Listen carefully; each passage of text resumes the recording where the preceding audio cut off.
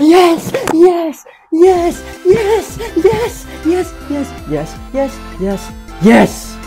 Konačno! Oh my god! Hvala Boga, brate mili. Konačno!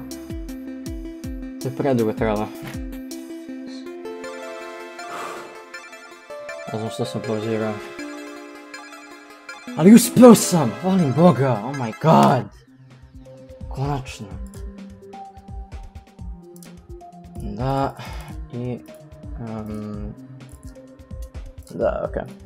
Vjerovatno oko 25.000 uključujući moje ostale. Okay, cool. Okay, now regarding Acu, uh, first off, you might be thinking, why do I have 0% in practice mode?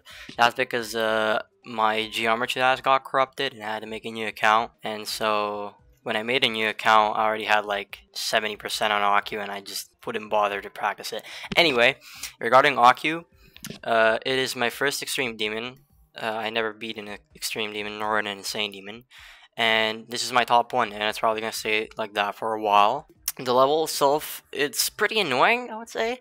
I don't think the first 26% are that hard. Like, I don't find them as as um, other people find them. I think the last, like, 64% were, like, hell for me. Because I had, pre I'm pretty sure, like, plus 40 deaths on plus 62. Like, after 62, I had, like, plus 40 deaths. And that wasn't fun.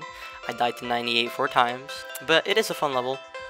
I beat it, and I think that if you like take your time to learn the level, I think you can beat it too, but it could get a bit boring. That's it. Thank you for watching. Bye bye.